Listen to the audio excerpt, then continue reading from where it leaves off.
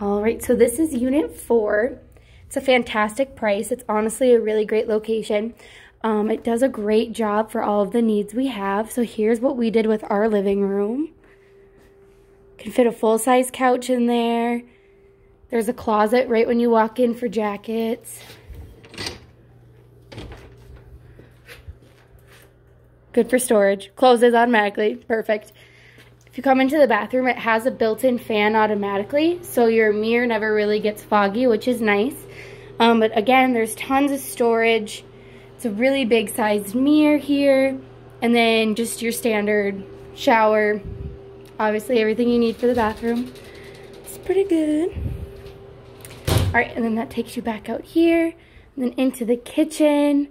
It's a pretty new fridge, so it does a really good job there.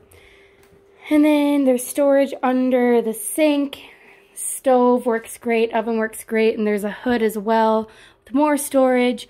All of these cupboards are pretty deep, so you can actually fit quite a bit in there. And then there's kind of like a half wall thing there. I really like that. And there's more storage down there, so you'll definitely have tons of space.